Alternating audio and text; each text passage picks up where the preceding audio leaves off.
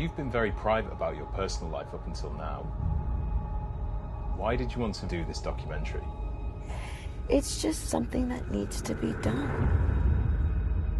Who is Janet Jackson?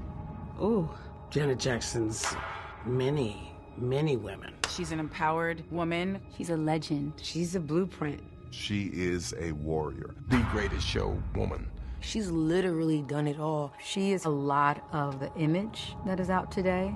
Janet is very private. For her to want to open up, I'm flabbergasted.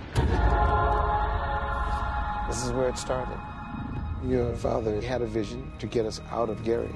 He gave up his fatherhood to get them in the business. The Jackson Five. There were times when I just didn't understand where I actually fit in.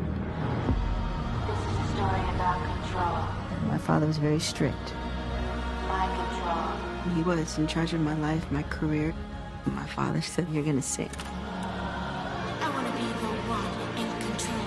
I think I have to start being independent. The most important thing was for her to take that stage and own it. It's just a side that no one's ever seen. This is me. Seeing Janet as a mother warms my heart. Who are you closest to in the family? Randy.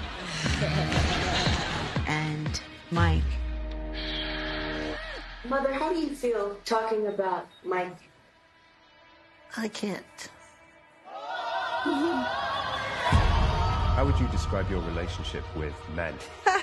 it was a magic relationship if it didn't hurt so much. I was just incredibly innocent. I didn't need a Janet Jackson to amplify my life, but I feel like it did. I haven't given up on love. There's a great deal of scrutiny that comes with having that last name. We're trying to follow up a No, big album. no, I'm sick of this. I don't need this. I'm going home. Renee, pull that up. You want me to cut it? Did the allegations affect you career-wise? Yeah. Guilty by association.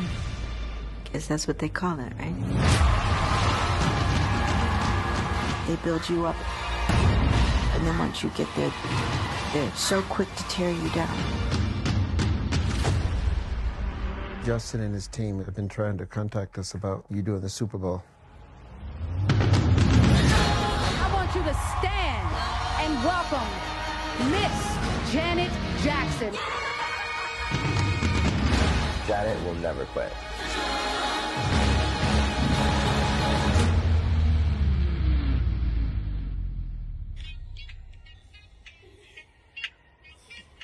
The best song in the club.